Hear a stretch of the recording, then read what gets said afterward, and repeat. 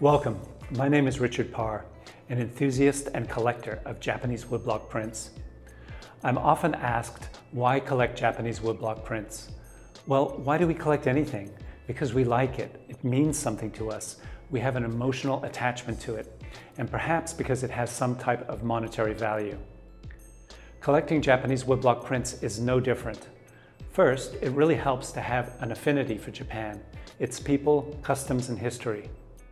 Next, to have an appreciation for art, for design, style, and composition. If you can check those two boxes, you will probably enjoy collecting woodblock prints. Here are a couple of amazing things about the genre of Japanese woodblock prints.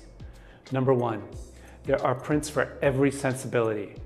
Do you like birds, landscapes, beautiful women, samurai, ghosts, tattoos, fish, sex, violence, cats, history. These are just some of the many, many topics you'll find.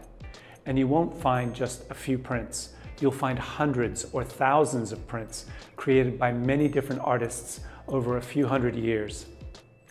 Number two, you can own an original print for the price of 50 Starbucks coffees or a couple of tickets to Disneyland. And I mean an original that was hand printed in Japan 200 years ago.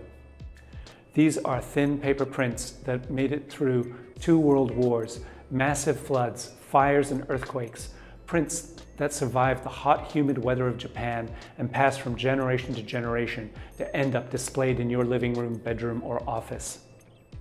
Some other benefits of collecting prints are that it gives you an opportunity to expand your knowledge. You can learn about history, legends, and tales. You can learn about the artists. Did you know that one of my favorite artists, Toyohara Kunichika, was a drunk and womanizer?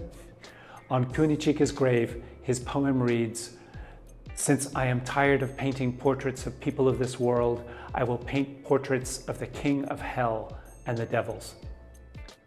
Did you know that Ando Hiroshige started art at age 14 and his landscapes influenced the European Impressionists like Vincent van Gogh?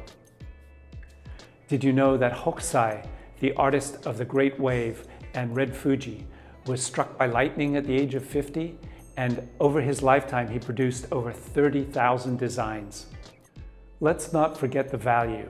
The print you buy today is one of a very limited edition. Even the reprints are limited.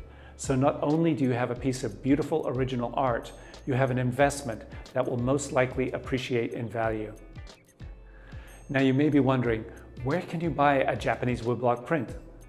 There are so many places, ranging from eBay to hundreds of galleries, auction houses, and even direct from Japan. There are tons of resources online that have excellent information to help first-time buyers. So what are the next steps? Go online and do a search for Japanese woodblock prints. See what you find. Have fun and happy collecting.